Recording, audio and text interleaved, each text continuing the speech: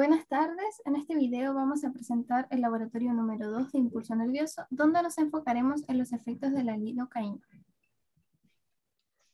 El sistema nervioso desempeña un rol en prácticamente todos los aspectos de nuestra salud y bienestar.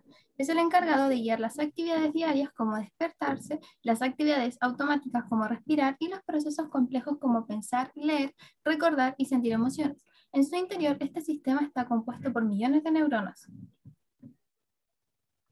El impulso nervioso o eléctrico es una señal que se transmite mediante la interacción entre las cargas positivas y negativas de neurona a neurona y que tiene como finalidad pasar la información sensitiva o motora hasta llegar a la estructura del cuerpo donde se genera un estímulo desencadenante.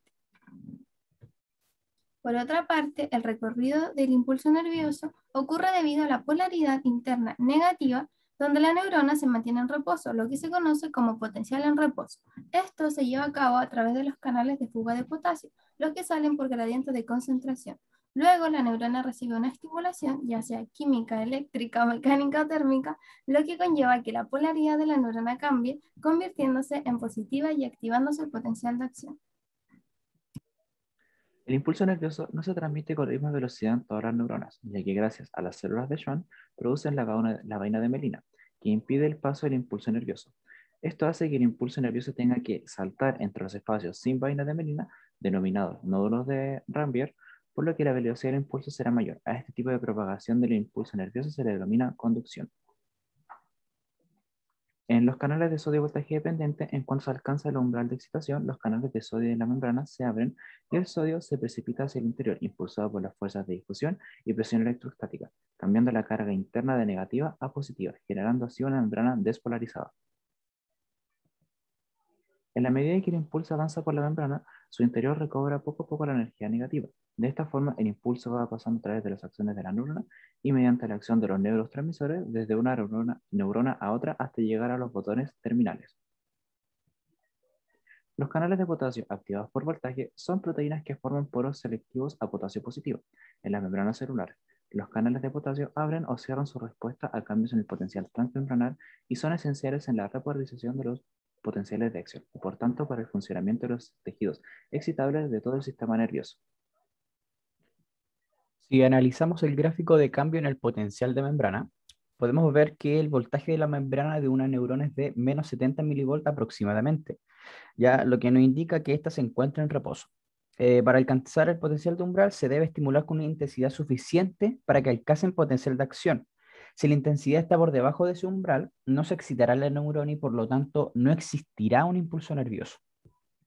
Eh, por el contrario, si se genera un estímulo que alcance el potencial umbral, se abren los canales de sodio voltaje dependiente, dejando entrar sodio en la neurona. Esto va a provocar un cambio de carga en la membrana, generando una despolarización. Este canal, después de un rato, se inactiva debido al cierre de los canales de sodio. La bolita eh, se mete al poro del canal y bloquea la entrada de iones. En esta fase ocurre la inactivación del canal. En la etapa siguiente se abren los canales de potasio, voltaje dependiente, donde tiende a salir potasio y lo llevará a acercarse a su potencial de equilibrio. Esto baja a valores muy negativos del potencial de membrana y vemos lo que se establece como hiperpolarización. El equilibrio del potencial demora en recuperarse gracias a la bomba sodio-potasio ATPasa. Y ya yéndonos directo al laboratorio, vemos que la lidocaína es un fármaco considerado anestésico local que también tiene un efecto antiarrítmico sintetizado en 1943 por estos científicos que se muestran en la imagen.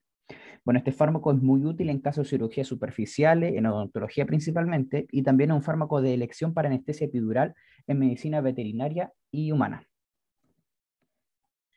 Por lo tanto, si se absorbe en cantidades significativas, la lidocaína producirá estimulación de presión del sistema nervioso central, por ende, causa depresión de la conducción, la excitabilidad cardíaca y la vasodilatación periférica. La lidocaína se difunde rápidamente a los axones neuronales y se une de forma reversible al receptor de sodio de la membrana neural, bloqueando así los canales e impidiendo el movimiento de los iones, además de inhibir la generación y la conducción del impulso en todas las fibras nerviosas, ya sean de tipo sensorial, motora o autónoma. Debido a la aplicación tópica o inyección por vía subcutánea, intradérmica o submucosa con una penetración directa en la membrana nerviosa, puede causar la pérdida de la función nerviosa, tales como el dolor, la temperatura, el tacto, la propiocepción o el tono del músculo esquelético. Por lo tanto, para este laboratorio será uso de un programa de computadora para la, realización de los experimentos solicitados.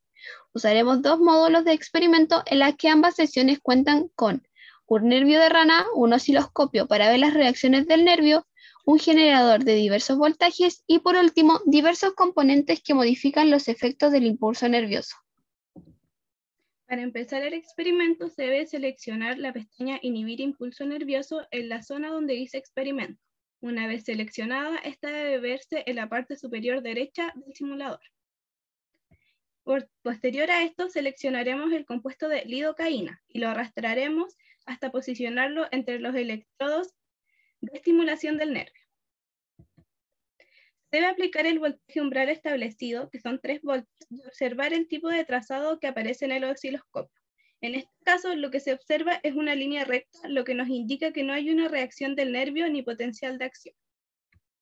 A modo de conclusión, sabemos que el potencial de acción se conduce a través de la fibra nerviosa mielinizada, que contiene canales de sodio ubicados en la membrana desde las dendritas hasta el axón, al agregar lidocaína, esta bloqueará los canales generando la inhibición o un tapón en donde la despolarización no se lleva a cabo.